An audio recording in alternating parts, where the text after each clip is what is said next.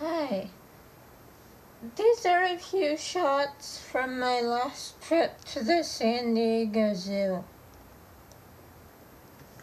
It was the second time I had taken my walker to the zoo. I was standing with my mom at the cage across from the mountain lion. I think it was a female, but I'm not sure. I saw her looking at something, so I went closer to see what it was.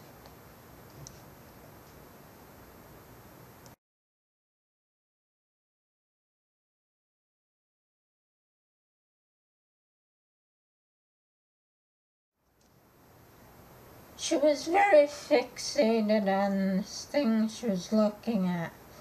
So I went closer and closer I stood at the cage and she was looking right at me.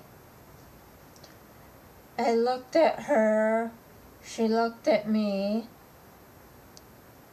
and it took me a minute or two to realize she wasn't looking at me at all. She was staring at my walker.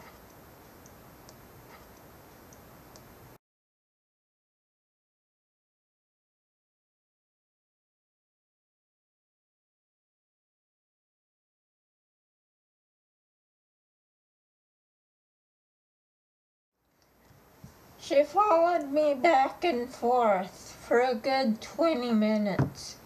It was amazing. At first, nobody else at the cage would believe that she was looking at my locker.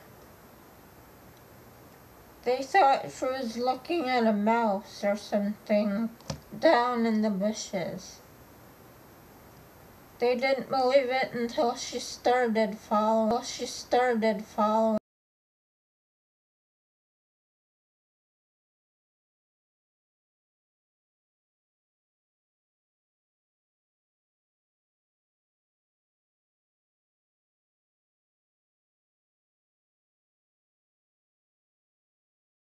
I think she wanted to eat me.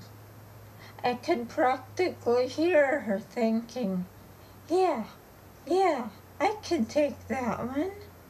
She would make a nice, tasty little morsel. Make a nice, tasty